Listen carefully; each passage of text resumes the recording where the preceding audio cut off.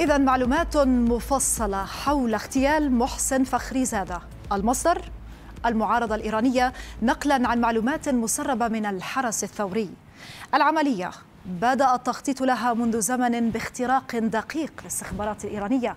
في ذات الأثناء وبحسب المصادر كان فريق الاغتيال الميداني يخضع لدورات تدريب خارج إيران. هنا تم اختيار 62 عنصرا لتنفيذ العملية. 12 منهم شاركوا ميدانيا في تنفيذ الاغتيال وحددت كذلك المركبات التي ستستخدم في هذه العملية. هي سيارة هيونداي من نوع سانتا في وسيارة نيسان وأربع دراجات نارية. تم اختيار التوقيت بعد رصد موعد لمسيرة موكب حماية فخر زادة كان في طريقه إلى الفيلا الخاصة به في المدينة قرب طهران. قبل نصف ساعة فقط من وصول الموكب للموقع المحدد. قطع فريق الاغتيال كهرباء تماما عن هذه المنطقة. كانت المركبات المحددة بما فيها سيارة نيسان كانت مفخخة.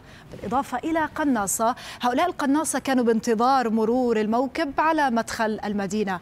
الموكب ضم ثلاث سيارات مضادة للرصاص.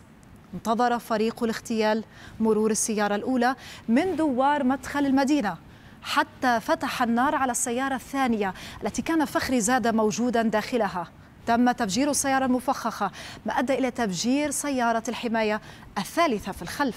بعد ذلك توجه 12 عنصرا من فريق الاغتيال. توجهوا باتجاه سيارة فخري زادة وسيارة الحماية الأولى.